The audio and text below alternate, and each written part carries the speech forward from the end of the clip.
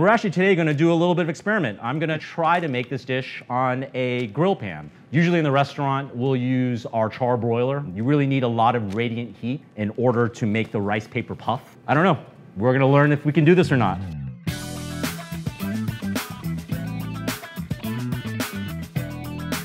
My name is Dennis. I am the chef and partner over at Di an Di Restaurant. Today, I'm gonna make a dish called Banh Trang Nuong, which translates to grilled rice paper. We like to call it a grilled rice paper pizza. I had this dish originally in Vietnam. This is a common street food snack. You see kids eating this. This is not something traditionally sold in restaurants.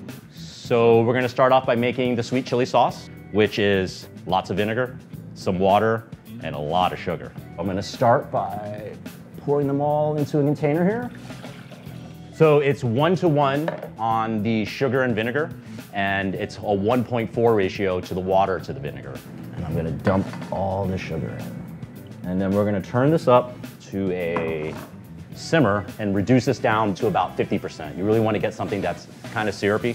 In the meantime, I'm gonna dice up some fat back. We're gonna cut these into about quarter inch cubes. These are gonna shrink considerably as they reduce. I've got a hot pan now. So what I'm gonna do is I'm gonna add a little water so this doesn't burn. So the water will eventually evaporate, leaving just the fat. So this will probably take about 15 minutes, and you kind of want to do it at a low and slow temperature. In the meantime, I'm gonna start on my clams. Today we're using little neck clams. When you're looking at clams, make sure you get clams that are still closed. Don't get clams that are open, that means they're dead. And that's not gonna be good eats. We're gonna add a little bit of water to this as well. I'm just gonna add the clams in. I'm just gonna put them in there and steam them till they open. I don't want to overcook them too much. These guys are really small. Don't want to get them too chewy. You want them to stay nice, plump, delicious. It's been about two minutes and our clams have opened up now. So with the lardons here, you can see that this has shrunk considerably. You can see a pool of oil now, and I'm gonna keep that pork fat. We're gonna use that later to make our scallion oil. Strain this out. Now we've got these rendered lardons. I'm gonna start shucking my clams. For little neck clams, I like to use about six per grilled rice paper. So we've got our shucked little necks. We have our lardons now. We have our sweet chili reducing. The last step we're gonna do is we're going to make some scallion oil. Scallion oil being a very ubiquitous ingredient that we use in Vietnamese cuisine. We kind of bless everything with it. We're gonna take this pork fat that we had into a pan. Once this becomes really, really hot, ripping hot, I'm just gonna add the scallion straight into there.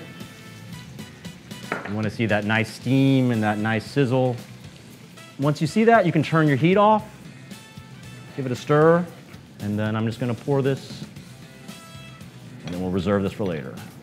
So our vinegar sugar mix has reduced to about 50%, and now I'm gonna add, this is what we have in-house at the restaurant, but what you can sub it for is just fresh garlic and some pickled red chilies, which you can find at any Southeast Asian market. Give this a good stir, and then we're gonna season it with some fish sauce. So be careful, this is a very hot liquid and you're using an immersion blender. You need to make sure it's fully submerged and not halfway out, otherwise you're gonna get sticky hot liquid all over yourself, and that is not fun. Cool, you don't need to get it 100% blended. Should be sweet, salty, and spicy. Yeah. So now that we've got the components assembled, we're gonna start making the rice paper pizza. We have two eggs, which I've cracked and put into a squeeze bottle to make it easier. Um, you're gonna need some water. We have some crushed peanuts, and we have some microchives here. So one little tip that I learned painfully is that our rice paper here is different than the one we would get in Vietnam. So one of my chefs, shout out to Gerald, figured this out. If we're using the rice paper we get here in the United States, you actually need to use two pieces of rice paper for this dish. So what I'll do is I'll take some water and I will wet one side of the rice paper and then I'm gonna stick the other piece of rice paper on top. And it's gonna make it stick together. And then we're gonna place this rice paper right on top of the grill pan. And then using the back of my spoon, I'm gonna do a little circular motion to have it stick. And you'll see as I do this, it's gonna form one solid piece. I wanna see it turn from clear to white. That means it's puffing up, the water's evaporating. And I really wanna make a very stiff shell here. flip it over so we get some even heat on this. The radiant heat is what's really important here. And the amount of radiant heat from a dedicated grill or char broiler, you can make this dish in essentially a minute. But this is totally working. This might take a little bit more time, a little bit more patience, but it just allows you to put a little bit more love in the dish. You can start to see it puff up. Now I've got like a really stiff shell. So what I'm gonna do is I'm gonna add the scallion oil. We're gonna spread it around. I still see some spots here that are a little bit opaque, which means the rice paper hasn't fully puffed. And when I bite into it, it's gonna be more chewy than crispy. You really wanna see it completely all white. This is actually not a bad way for a first timer doing this because when you do it on a radiant grill, you only have about a minute. This is a little bit more forgiving because it's not turning too brown too fast at all. Don't overdo it with the egg. You really need to drizzle just a little bit of egg on here. The egg is gonna act kind of like a binder for the, all the other ingredients. So traditionally in Vietnam, when they make this dish, you'll just crack a little quail egg right on top, and then you'll see the cooks vigorously just keep moving their spoon behind it to spread the egg out. You know, if you think of a traditional pizza, this would kind of be like the tomato sauce portion of the pizza. The whites are starting to set, so that signals to me I can start topping it. I like to do six little neck clams, but you can go wild depending on how ball you want to make this, this pizza. Some of our lardons on top. We're gonna add our sweet chili sauce, kind of glaze it Add some crushed peanut. And you might think peanuts and shellfish is kind of weird, but this is a very classic Vietnamese combination of shellfish, pork fat, peanuts, herbs, and then we like to garnish it with some microchives. This adds just a little bit of crunch and freshness to it. And I think, given the limitations of our grill pan, I think this might be it. And I'm kind of curious to see how this tastes. So you saw me do it in a home kitchen setup, but if you want to throw a Banh Trang Nuong party for you and 40 friends, it's going to take forever if you go doing it the conventional way. So we're going to use a dedicated charbroil this time. This is going to go a lot faster.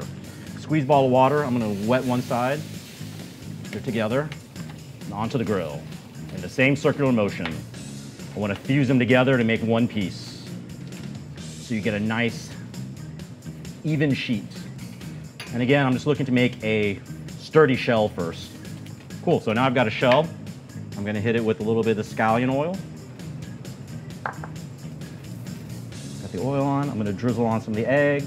And you wanna get the egg edge to edge. There's no crust per se on this kind of pizza.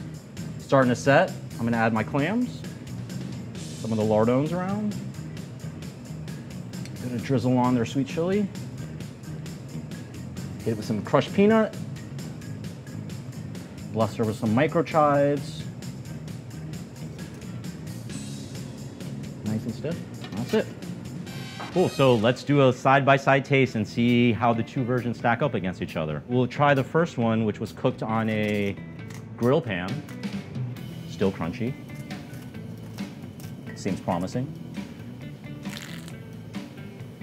Flavors are good though.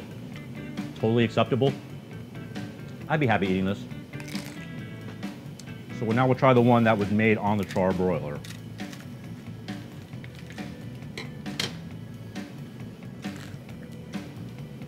Definitely improved texture. It's a lot crispier than the other one. You can see the bubbling is consistent all across the rice paper.